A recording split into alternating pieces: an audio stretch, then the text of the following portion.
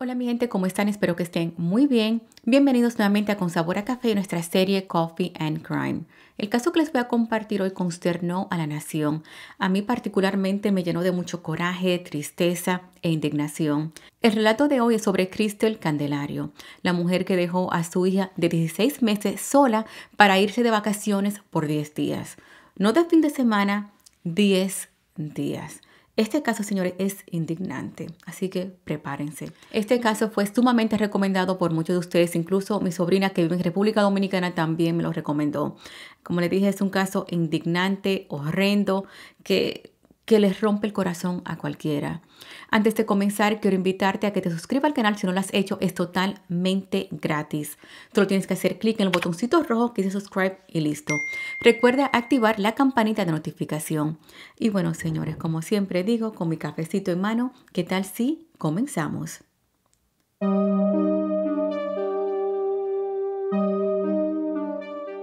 Se sabe poca información sobre el pasado de Cristel Candelario, pero ella nació en septiembre de 1991 en Guayaquil, Ecuador.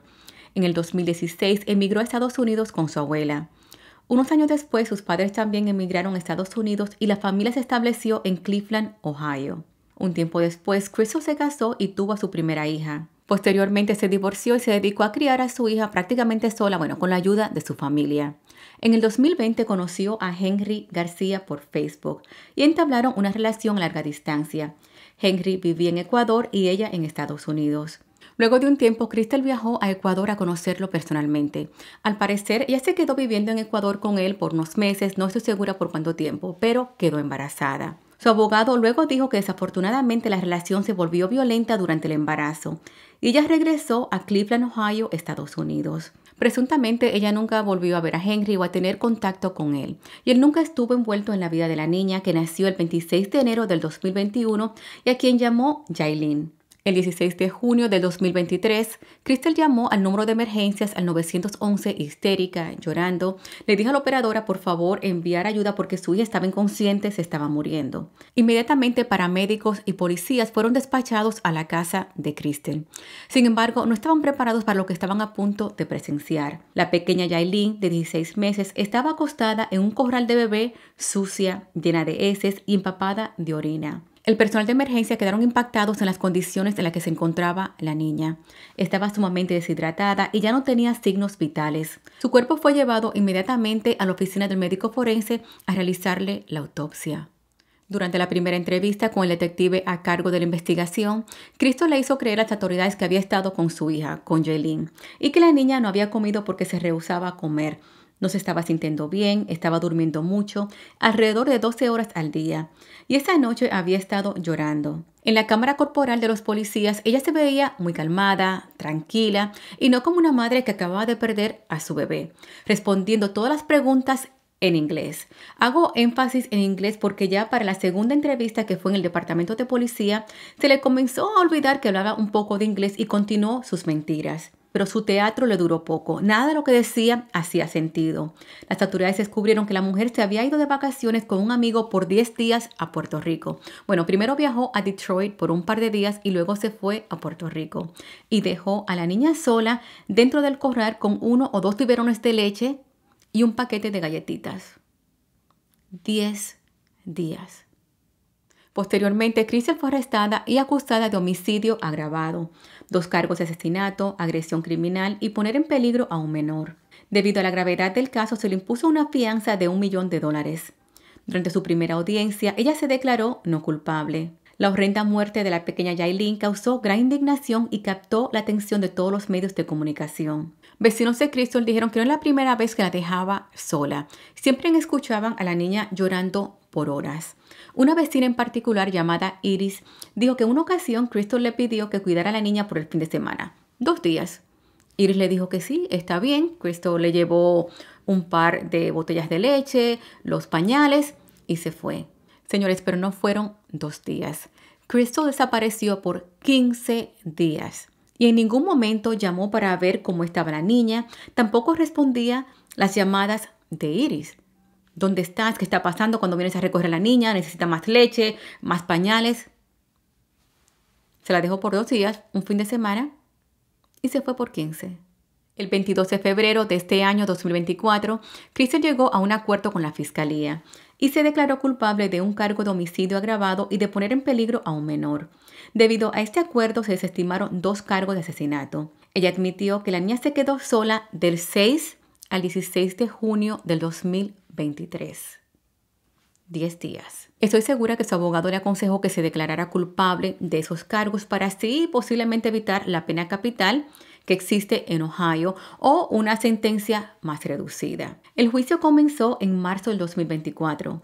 La fiscal Ana Fragaria mostró pruebas que no era la primera vez que Crystal dejaba sola a Jailin. Mostró una grabación de las cámaras de vigilancia que grabó a Crystal cuando salía de la casa y regresaba dos días después. En otro video, la mañana del 6 de junio del 2023, se ve a Crystal entrando su maleta en un carro. De acuerdo a la fiscalía, ese día ella se iba para Puerto Rico y también hizo una parada en Detroit. Durante sus vacaciones, la mujer compartió fotos en sus redes sociales sonriendo en la playa y disfrutando con sus amigos, mientras que su pequeña hija se encontraba en un corral sin supervisión, sin agua ni comida. La fiscal mostró una foto que causó más indignación. Crystal publicó en su Facebook lo siguiente, el tiempo que se disfruta es el verdadero tiempo vivido.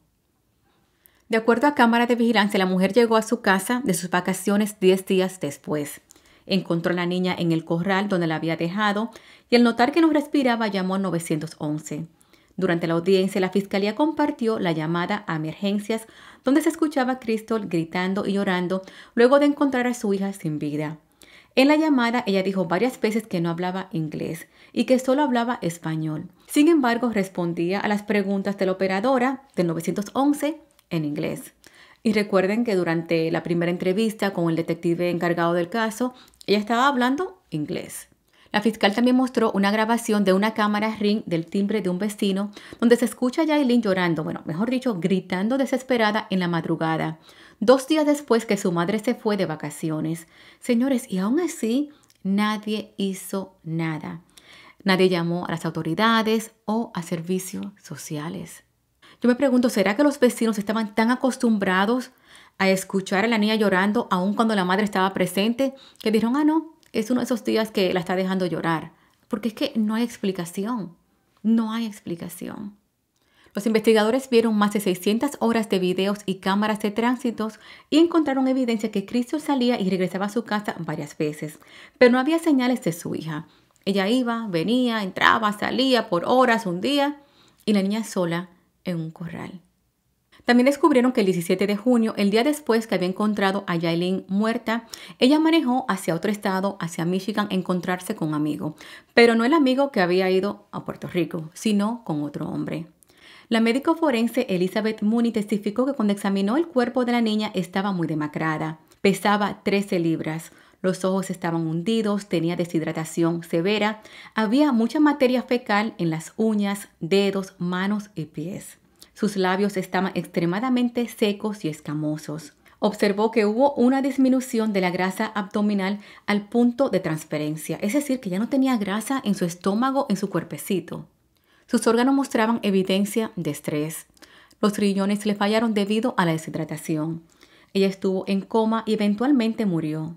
Con voz entrecortada dijo que Yailin murió de hambre y deshidratación severa. Determinó la causa de muerte como un homicidio causado por negligencia infantil. La forense calificó la muerte de la bebé como uno de los casos más trágicos y desafortunados que había tenido en su carrera hasta ahora.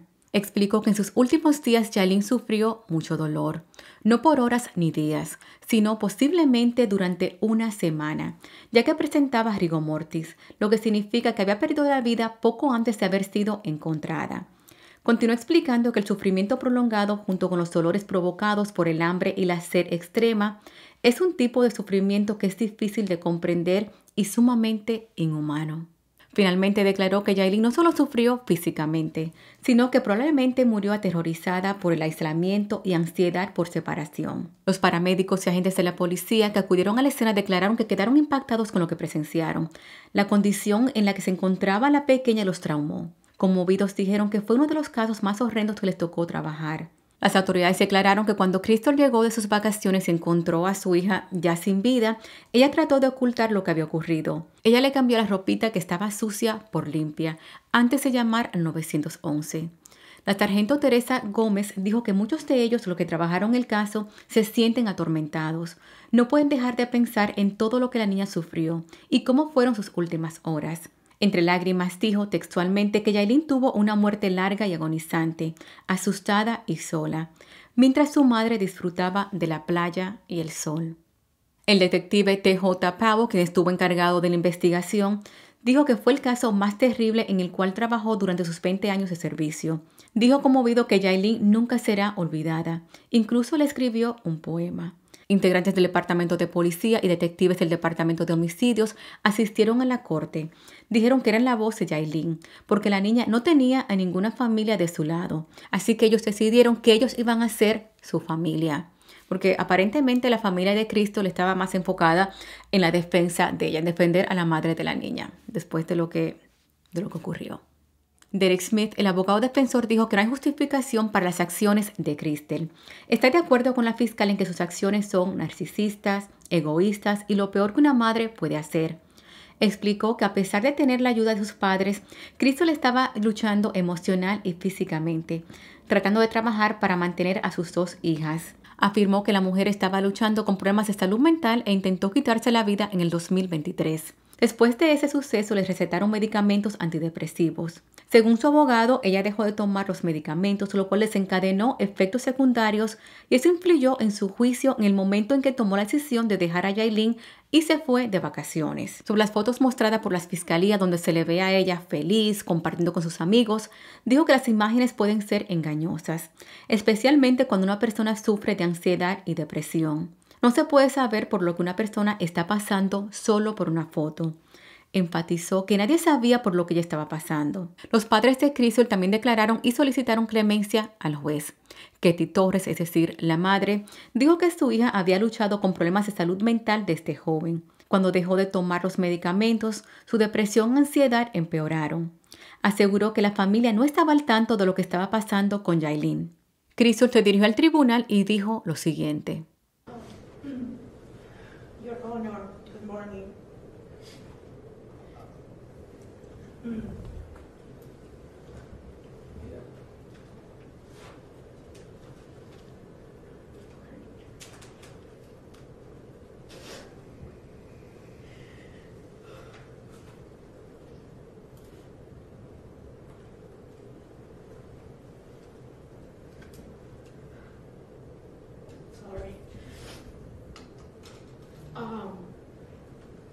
Mucho dolor que tengo con, respe con respecto a la pérdida de mi bebé Yailin. There's so much pain that I have in regards to the loss of my baby Yailin. Estoy muy dolida por todo lo que pasó. I'm extremely hurt about everything that happened. No estoy tratando de justificar mis actos. I am not trying to justify my actions. Pero nadie sabe cuánto yo estaba sufriendo but nobody knew how much I was suffering y por lo que estaba pasando. and what I was going through. Todos los días le pido perdón a Dios y a mi hija, Yailin. Every day I ask forgiveness from God and from my daughter, Jaylene.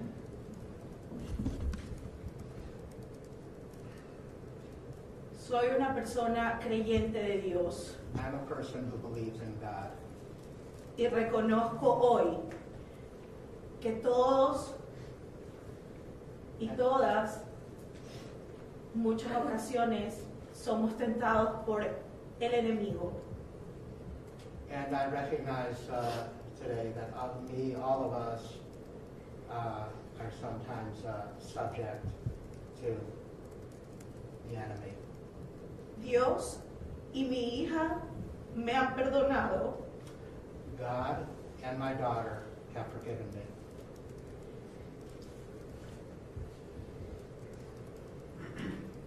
Quisiera pedir perdón también a mi hija Amaya. I would also uh, like to ask Amaya, my daughter Amaya, for forgiveness. y a mis padres. and I'd like to ask my parents for forgiveness. No se imaginan cuánto yo era unida a mi hija Yailin Yamaya. Uh, One can't imagine um, how close I was to my daughters, um, Jaylene and Amaya, y cuánto nos amábamos todas. and how much we all uh, loved one another. Extraño mucho a mis hijas. I miss my daughters very much. Hoy nada puede devolverme a Maya, a Yailin, perdón. Uh, Now, uh, I know that nothing, um, nothing can bring Jaylene back. Y no pasa un día que no deje de pensar en ella. And not a day goes by when I do not think of her. Le pido a Dios que algún día pueda volverla a ver I pray to God that one day I will see her again y poder retornar junto con Amaya, que es nuestra única esperanza el día de hoy. And I pray also that one day I can be reunited with Amaya, who is uh, our only hope right now. Thank you, Susan. Your honor. Thank you, Your Honor. Anything else, Mr. Smith? Um, Dios y Yailin me han perdonado. La fiscalía respondió a esas alegaciones de la defensa de la depresión, que había dejado de tomar sus medicamentos, mostrando fotos sacadas del celular de Cristo donde se le ve sonriendo, feliz y de fiesta con sus amigos en Puerto Rico, y sin un rastro de preocupación por su hija, que estaba sola en casa. En ningún momento se veía deprimida. La fiscal molesta dijo que Crystal tenía los medios para viajar a otro estado, es decir, a Detroit, para estar no con un hombre, sino con dos, dejando a su hija en una cuna. También compartió que durante el tiempo que la mujer ha estado en prisión, ha hecho llamadas telefónicas a sus amistades y a su madre. Recuerden que todas las llamadas que se hacen desde la cárcel son grabadas. Y en noviembre del 2023, ella estaba hablando con una amiga sobre su viaje a Puerto Rico, lo bien que la pasaron, que fue muy divertido, hablaron de los gastos que incurrieron, la comida, de todo, pero en ningún momento mencionaron a Yailin o lo triste que estaba por la muerte de su hija. Yailin nunca fue mencionada, como, como si nunca existió. En otra llamada con su madre con fecha del 6 de enero del 2024, Cristo le dijo, aquí, es decir, en la cárcel, hay mujeres que han hecho cosas peores. No es como que yo la disparé o la maté. Refiriéndose a Yailin, lo que ocurrió fue un accidente. Así de simple, un accidente. Me fui de vacaciones a pasarla bien con mis amigos y dejé a mi hija en un corral por días. Ups, un accidente. El 18 de marzo, hace apenas una semana, se llevó a cabo la última audiencia. Antes de la sentencia, el juez Brennan Sheehan se dirigió a Crystal y le dijo unas duras palabras. Traduje lo que le dijo y cito textualmente, que había cometido la traición máxima, dejar a tu bebé aterrorizada, sola, desprotegida, para que sufriera todo lo que escuché fue la muerte más espantosa imaginable para una persona, sin comida, agua ni protección y acostada sobre sus propias heces. Dejaste a tu bebé atrapada en un corral por 10 días. Esto no simplemente fue un descuido. Pudiste haberle salvado la vida a Yailin. En cualquier momento pudiste haber encontrado a alguien que la cuidara mientras no estabas. Pudiste haberla llevado contigo. Mientras estabas en Detroit o en Puerto Rico, pudiste haber llamado a alguien en Cleveland y decirle que Yailin necesitaba ayuda.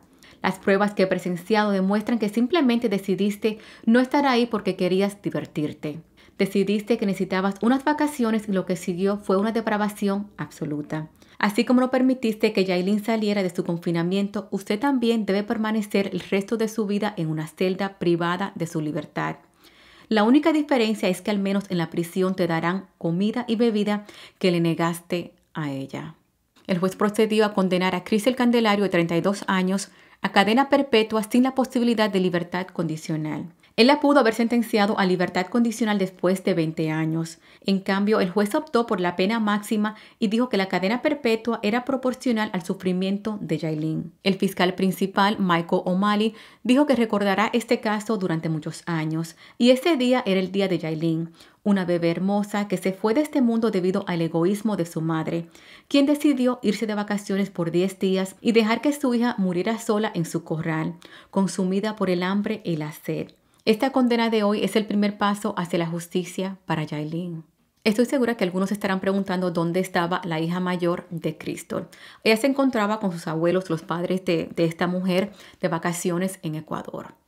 En una entrevista por la cadena Telemundo, Henry García, el padre de Yailin, dijo que nunca conoció personalmente a su hija porque, como le dije anteriormente, él vive en Ecuador, pero se mantenía en contacto por medio de videollamadas. Dijo que se enteró de lo ocurrido por las noticias. Alegó que Cristo ni su familia notificaron de lo sucedido.